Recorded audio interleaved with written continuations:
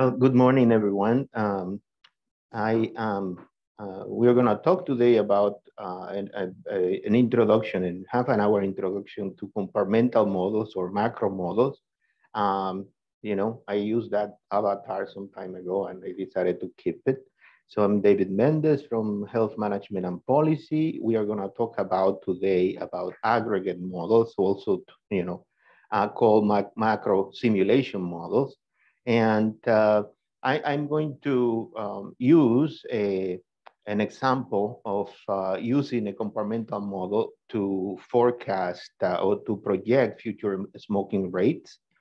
Um, so uh, let's start with uh, a, conceptualization of the model. Suppose that we have um, a, a world in, which we, we have three types of people depending on uh, their smoking status. They are never smokers, current smokers, and former smokers, and they are uh, you know, distributed among the population. Now, I want to keep track of them and, and know the, the um, sometimes the, the law of motion, the dynamics of the transitions of uh, uh, these individuals to other classifications over time. So what I do first is because it's so complicated, just keep track, you know, of every one of them. Also, we could, but you know, we are interested in more of a, a global view of the situation. So the first thing I'm going to do is group them in the population. So I have the group of the, for the uh, never, uh, current, and former smokers. And then I'm going to put boxes around them. And those boxes is what we call compartments. And the compartments, I'm not going to keep track inside of those compartments. I'm not going uh, to keep track of individual people, but group of people.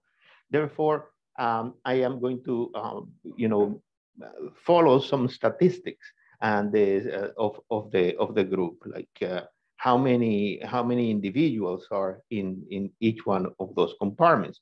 So we have 24 never smokers, 10 current smokers, and four former smokers. So now uh, let's let's assume that I'm interested not just in the smoking status, but on age of those individuals. So I, I want to make sure that I understand who are the people uh, from uh, ages uh, 0 to 17, 18 to 24, and more than 24 years old.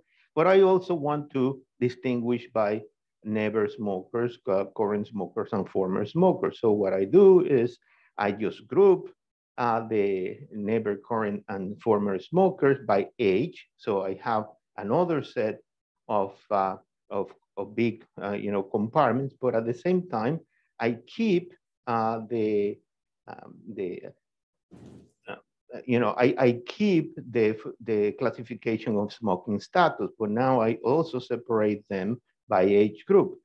Okay, so uh, now we have one, two, three, four, five, six, seven compartments, right? In which I uh, you just count how many people are in there.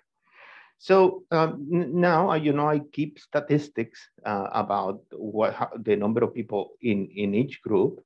And uh, um, as, sometimes, like let's say that I'm interested in further uh, classification of individuals and not just uh, greater than uh, uh, um, 24, but oh, I want to separate the greater to the adults in um, or the uh, older adults in uh, less than 50 and, and uh, uh, greater than 50 years old. So I get more compartments, right? So depending on what I want to track, I create those more disaggregated uh, boxes in which I keep track the number of people in, in, in there.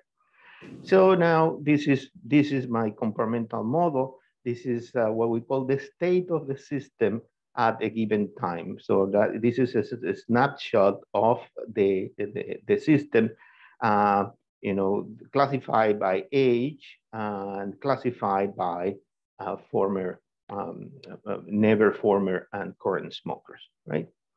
So uh, this is, as, as you say, as I said, the, a snapshot of the present time. And what I want to do is uh, create a snapshot of the future time. So um, I, I got uh, the what was happening in time t, but I want to anticipate what's going to happen in time t plus one. So that's you know what my model is uh, it's going to do. So they besides keeping track, besides knowing how many people are in the compartments at a given time, uh, I need to create the laws of the, the, dynamic laws, the laws of motion over time that uh, uh, explain how people transition from one box to another box over time. And um, it's a very, very, um, you know, simple um, idea that the, the state at, t, uh, at time t plus one is the, the state as at t, so the number, the classification uh, of smokers at t uh, plus change. And the change is the, what defines the dynamic, uh, the, the, uh, uh, the, the dynamic of, of the model, the, um, the structure of the model. So we have, of course, um, the future is the present uh, plus change. So how do we measure uh, uh, measure change? Well, we need to do some accounting. So right now we have a smokers at time t, and I want to figure out at time t plus one how many people come in at the, at, at the specific um, compartment box and how many people get out. For, ex for example, um, you know, I lose uh, five people here to cessation and uh, four people here due to death. And, uh, but I get, you know, two more people because of relapses. Uh, so former smokers that started to smoke again. And then I got 10 people who, in, who initiated smoker. So when I have the smokers at time T and then I do the accounting of the inflow minus the outflow, right? Then I have the future. That's the, the, smokers at, at T plus one is 13 by doing all this, uh, uh, you know, just arithmetic, right? So this, this, is, this is what we have. Um, so um, these these models that uh, you know take care of transitions and they take and and and keep track of this number of people or number of uh, items in a certain classification, um, they, they are you know, known um, as, by different names, the stock and flows um, uh, models, uh, compartmental models, however. Compartmental models is a very generic uh, the definition in which uh, uh, what, what you have, again, is you, you identify the boxes that you need to keep track of, and then you figure out how many, there's an initial state, mean uh, these are many people, or these are many um, items in each compartment, and then you define how people get in, or how items get in, and how items get out. Uh, so um, the number of people in the um, in the boxes are uh, what we call the stock and the um, you know the number of people that come in at, uh, so it can be per unit of time uh, so from one time to the next or if we're talking about continuous time uh, it's the rate. Uh, so these uh, inflows and flows and outflows are, are, are, called, are called the flows, right? So we have a stock and flow. So this is stock, the number, um, you know, what, what we're looking at, and then the flows is the, uh, then the ins and outs of those uh, compartments. So, um, you know, the, most of the time, uh, or the, the project, the uh, models that we have uh, worked on in uh, tobacco control most of them are uh, linear uh, models, so they're, they follow uh, some sort of a Markov process, right? So if you know the state of the system at one point, so you know how many people, how many individuals are in any given um, uh, you know box at, at, at any given time, and you know the motions, you know the law of motions, the law of transition, then that's all you need. You don't need to know anything about the past of the system because the state captures all the information that you need to, to know about the system. And then you can progress the system from, from there, give, you know, given if you know this, um, um, you know, the, the, the way that individuals come in and out of the, uh, of the boxes. So, um, you know, for example, uh, we use, you know, parameters uh, in order to um, uh, regulate the flow from one, um, you know, one one box to the next. This is the, the initiation rate, for example, that is applied to the never smokers to uh, figure out how many new smokers we have. And that initiation rate can be a, you know, constant or it can be changing with time. When, we, when these parameters change with, with time, uh, um, we, we call this time varying system, right? So there's still a linear system, but it's time varying. Uh, sometimes, you know, we it's not you know an, a, a very um, uh, a, a, very uh, uh, straightforward process. Sometimes, for example, the stock uh, in one box is is uh, determined or it helps to modify the flow to that compartment somehow. And then we have what we call the feed, feedback loops. And um, and, and, but if we have the, these transition rules, uh, then we can accommodate that. So uh, the easiest ones to look uh, and, and, to analyze our, our system in which these uh, transitions are the, the rates uh, are um, the constant and they are just proportional to the number of, of uh, the individuals in the stock uh, you know, for, from which they come. But we, we can have, you know, any kind of functional uh, form for uh, the, the varying of these uh, uh, transitions. Also, uh, we can, you know, get feedback loops to the, to the state. and, you know, that's, you know, uh, another uh, you know way in which uh, we can incorporate the dynamics in in the model so um, uh, i'm going to talk uh, you know make some reference a quick reference about a basic uh, compartmental models that track smokers and former smokers and never smokers and that you know we, uh, colleague of mine and I developed a long time ago, and it's just like a toy model. Uh, but you know, keep track of the. Uh, at that time was like a toy a toy model, but keep track of uh, quite accurately of the path of uh, smokers and former smokers and never smokers and the population. So, um, so we have, for example, here the adult current smokers, that, so that the number of adult current smokers, but separated by inside age groups. So we don't have only, uh, there are, you know, um, 44 million uh, uh, current smokers. We have how many current smokers of age uh, 18, 19, 20, up to 110. And then, uh, and then we have transitions from one to uh, one box to another uh, based on the um, you know rates and age and uh, and, and uh, mortality rates and so on.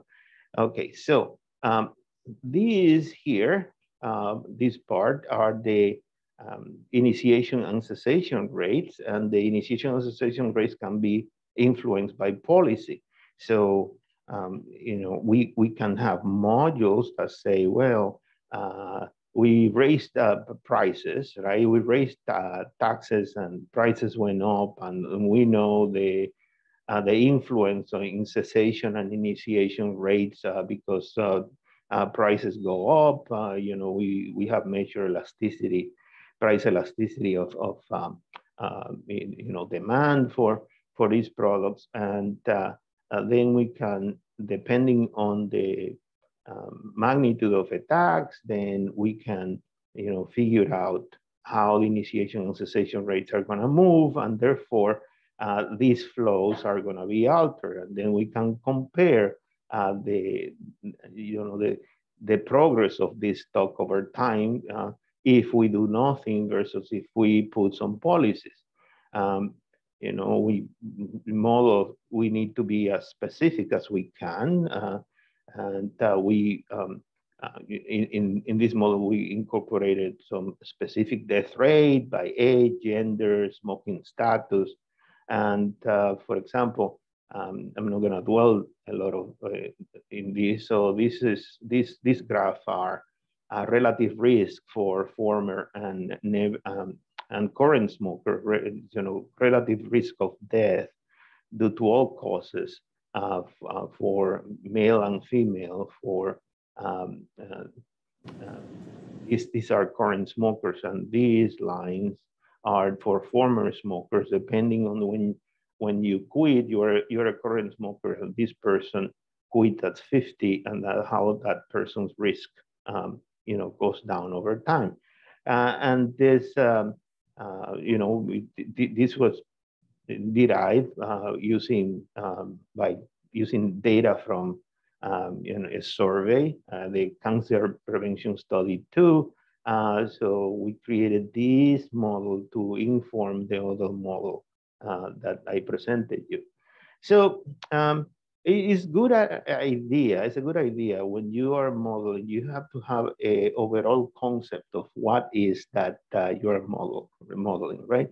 So in general, even though we have a lot of boxes in, in inside here, uh, we are keep we are trying to uh, keep up of the smoking prevalence and the smoking prevalence by each uh, compartment, by each age group and uh, and uh, and smoking status, and sometimes uh, gender, um, if, we incorporate that.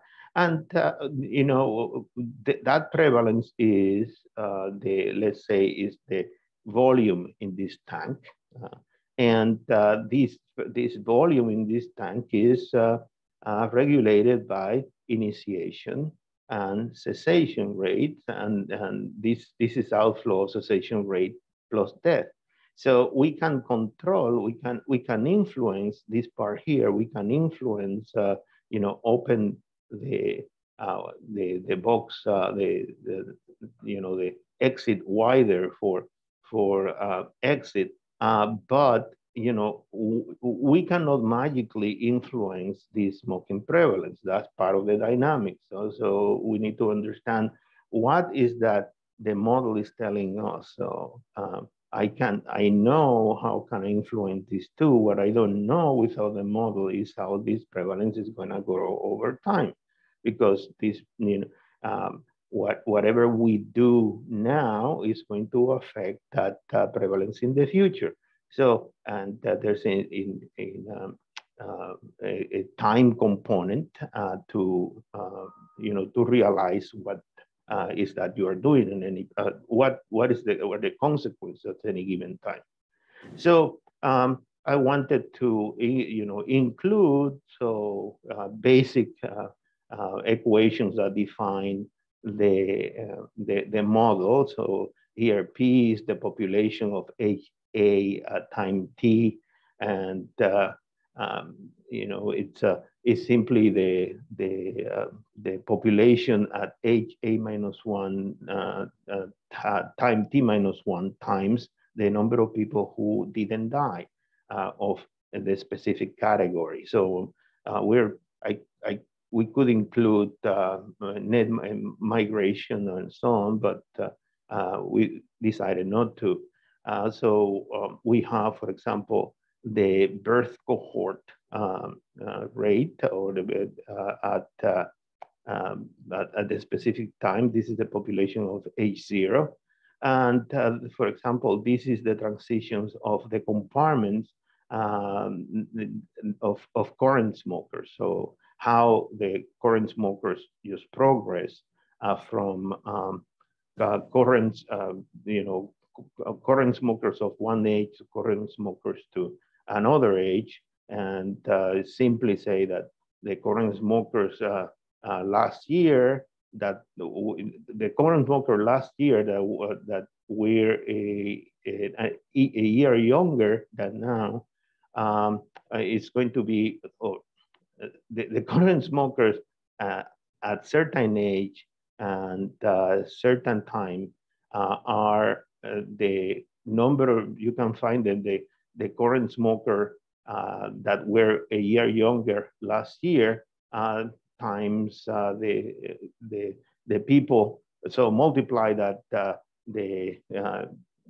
the, these give you the number of people who, who didn't quit and then these are the people who didn't die with a specific death, death rate, right? One minus this, the mortality rate, my one minus the cessation rate. So um, again, you know, you have to, um, you know, for every age to, if you know a little bit about uh, computer programming, this is just a simple loop that goes uh, through all uh, different ages and we also go through the former smokers and the transition from former uh, current smoker to former smokers and so on. And uh, so um, how do we, you know, start initialize this model? So sometimes we, we need parameters, right, to uh, populate this model. Um, we surveys will allow us to know uh, the initial state of a model, how many people in each boxes initially, and then we can uh, use data to uh, estimate the, the loss of motion. If it is purely Markov change kind of uh, um, a, a, Markov model that only depends on the state, uh, then we, we use data to um, estimate or to the um, the, those those rates, right? And you know, we assume that those rates will remain um, you know, constant uh, um, in some cases, and and then we look at the transition with the model. So uh, this is uh, using NHIS uh, smoking prevalence data.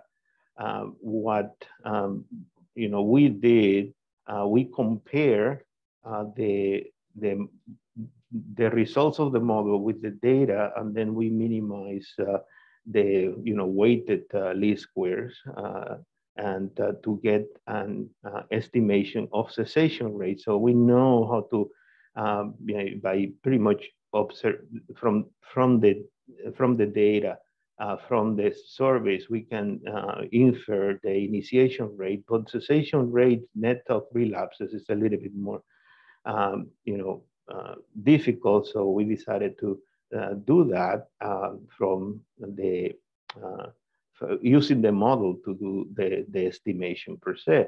And, uh, you know, this is, this is the data um, uh, and the, the um, uh, continuous line is the fit of the model. And, uh, you know, we took at different, different ages and, and then we just, what do you do? You, you know, you make projections uh, and given different conditions, if, if uh, you alter, uh, let's say, initiation rate by different uh, amounts, this is how the prevalence is going to uh, progress.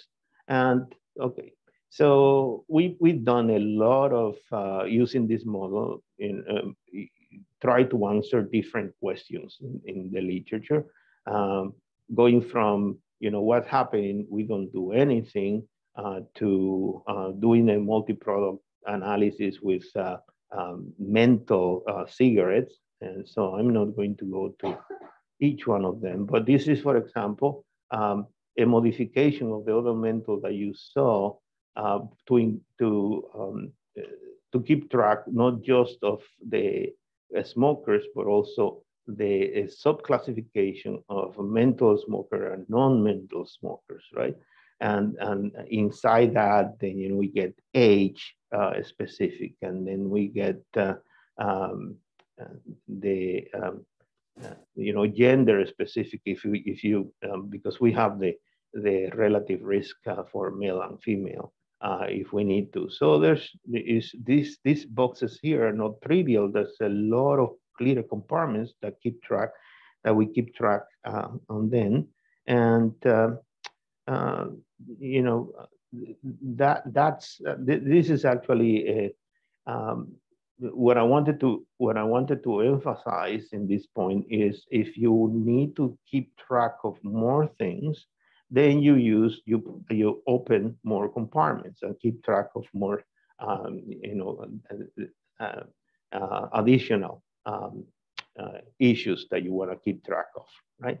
And uh, uh, there it's gonna be it's gonna come to a point that, that you are using so many compartments, you're trying to keep track of so many different things that is uh, easier just to um, uh, switch to another kind of models that are called individual-based models, uh, uh, either micro-simulation models or, or um, agent-based models that uh, focus on each individual and their interaction. So you don't have to, you know, make a lot of boxes. The boxes are easy uh, to understand and manage. And sometimes we have some equations, uh, some transitions for, from which we can do some analytical derivations, uh, but sometimes they get too um, uh, bogged down.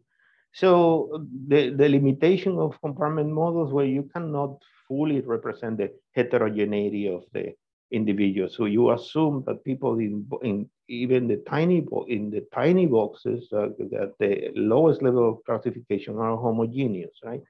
And uh, uh, and if if you want more heterogeneity, you just create more boxes inside, and you know until you get a box of one for each individual, which is just an individual-based model. Um, and so this this is the issue of uh, compartmental models, if you care. Uh, so um, they're in, in, there are a lot of things that we don't keep tracking in uh, compartmental models because we don't have the, the space to, to actually create more states uh, that and, and, and maybe they are not uh, as important to figure out what is that we need to keep, um, keep track of. And sometimes you don't know if they are important.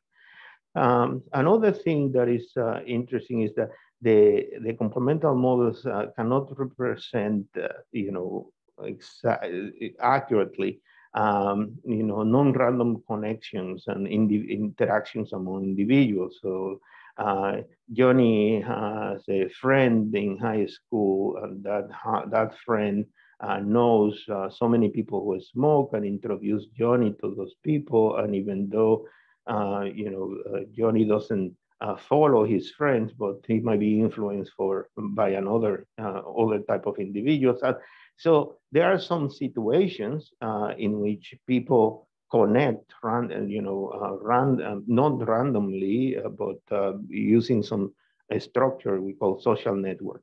and, and influence each other, and the compartmental models, you know, don't don't track that. so that's another advantage of um, agent-based models, for example. And so, um, you know, the, the you know, modelers uh, should recognize when heterogeneity and network effects are important to merit abandoning the aggregate uh, approach in favor of an individual-based model. And that's it. Thank you so much.